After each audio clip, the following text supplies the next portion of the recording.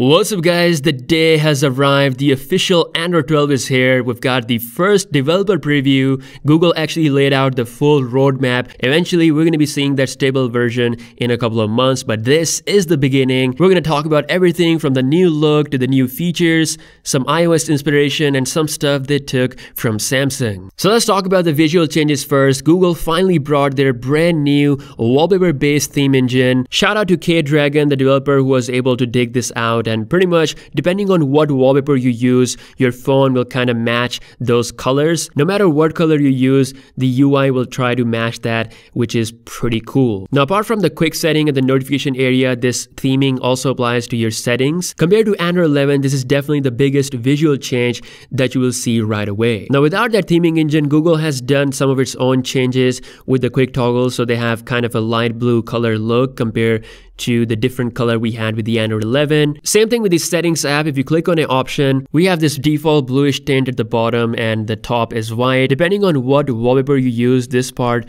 will change accordingly. Google has also added a brand new option called reduce bright color. So pretty much you can reduce the bright colors of your screen without, you know, changing the actual brightness. You can set up any intensity level you want and then with just one press of a button, you can have that quick dim display, especially helpful when when you're reading in a dark environment. You can also perform a swipe using two fingers at the bottom to turn this on and off, which is also a handy quick way to enable this. Now, as discussed in the previous leaked Android 12 look video, Google is indeed bringing those privacy indicators just like we have seen on the iOS 14. So pretty much if a certain app is using your camera or your microphone, you get the indicator notification on your phone, but Google has gone one step ahead. You can actually completely disable your camera or your microphone with just one press of a button. Shout out to XDA developers for digging this stuff out. Google is definitely taking the privacy stuff really serious. Also, Google is bringing something we have seen with third-party manufacturers for quite some times like Xiaomi and Samsung, which is a scrolling screenshot. By default, it is hidden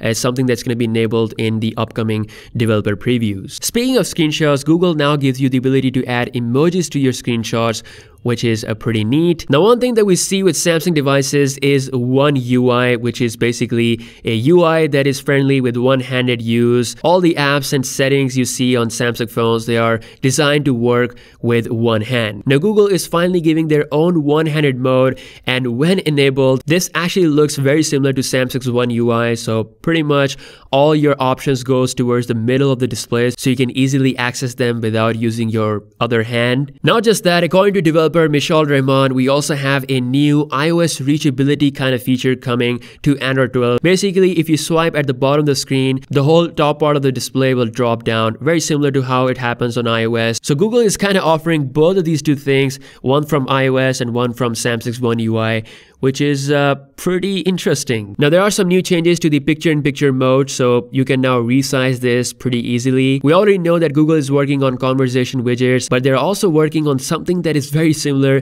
to iOS 14 stack widget. This is again coming via XDA developers, and uh, basically you'll be able to have like a stack of multiple widgets as a part of one widget, so you can just scroll around and see different stuff. Apple may have been late to the whole widgets game, but they definitely did some things right, which we are seeing now on the Android side as well. Now Google also mentioned some new features that are coming with Android 12. So one of the new exciting things is that apps on Android 12 will be able to generate audio haptic feedback from the phone's vibrator. So pretty much your gaming experience will get a lot more immersive, especially racing games like Asphalt 9. Once they get updated for Android 12, you will feel and hear a lot more stuff as you're shooting around and bouncing in the cars. Also, Android 12 brings the official support for AVIF image format. This format not only stores more info compared to JPEG, but it also has less storage of the same file. Furthermore, XDA developer says that we're going to see official support for ultra-wideband technology, something we have seen Samsung implementing